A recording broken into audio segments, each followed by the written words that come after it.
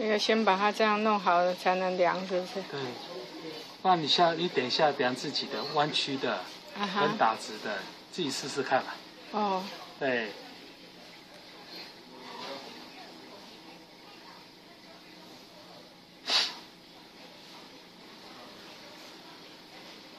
可是我觉得他们量不会把它打直哎。可是你要量是他叫妈妈真正要的血压，不是说你要去去找他们跟他们之间的差异。你要的是他真正血压，还是说呃跟他们量出来的差异？哦，对你现在是说我我量的跟他们的两个差在哪边，还是说江妈妈现在应该有的血压是多少？嗯哼，这两个观念，一个是说，哎，是不是他们量错了？等于说你要去对他们，嗯哼，当然就照他们的，然后看他们的这个数啦或什么的，嗯哼还是说你要量是说江妈妈正常应该有的血压是多少？嗯哼，应该是这两个要去分啊。嗯哼，对，一个是验证法嘛，啊一个是说，哎，江妈妈本来应该就是要这样量，那你要用不正确的方式去，他不用用不正确，你也不正确，那江妈妈血压都不正确啊。对，大姐了解我意思吗？了解。哎哎，那我不知道小齐师傅是怎么量，他有把它伸直量吗？这我不清楚呢。那我要问他。哎，嗯，因为就我学到是要打直才能才准啊。嗯因为你想想看，大姐，你现在手臂先不要量，你弓起来，让你这三臂是不是会胀起来？嗯嗯，对不对？嗯站起来压力就，然后它这边束缚，它压力就正常就会比较大。嗯哼，有没有？我们手拱起来上面这一块有没有？这块肌肉就拱起来，有没有？嗯就变大颗啊，嗯哼，它压力就会本来就会拉大一点。不知道这中间的差异是多少？每个人不一样，因为这跟每个人血管弹性什么的，嗯，甚至有人反而更低。哦，哎，因为有那时候在做数据报告的时候，我看到 paper 是说，大概十个有一两个会偏低，哦，对啊，八个哈是都会偏高，但是这不一定的。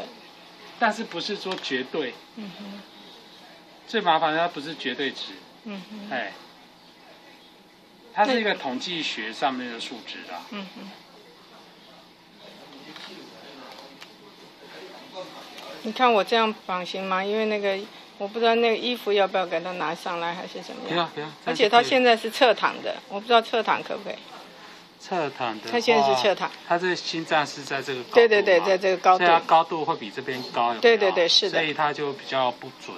哦对，所以你就给他仰躺好了。哦，对，会有点偏差啦，会有点落差。哦，那是现在头有有调高，可能刚刚吃饭，那我是不是把它还好一点点？可是它这样子会不会造成它不舒服而已？啊？他刚刚是我相信是刚刚吃饭，所以把它摇高的。嗯，嗯应该是说最主要是心脏跟它的位置，嗯哼，他们在，因为我们坐着量，嗯，你想想看，我们坐着头是不是高的还是低的？坐着是高的，啊，它有没有影响？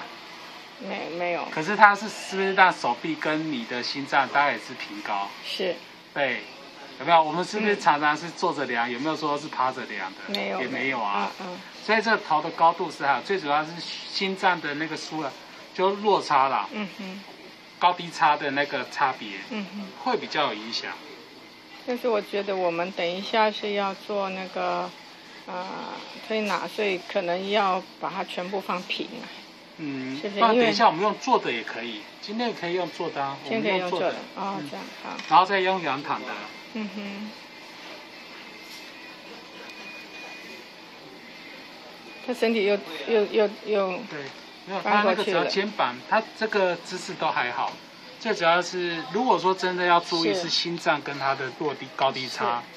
我哦我我这个让你架着，否则他又嗯弄过来了。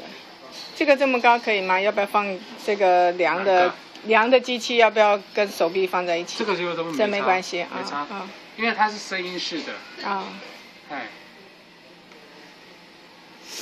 它是听声音。嗯。然后他现在这个在打个呵欠，打个大呵欠，会不会影响到？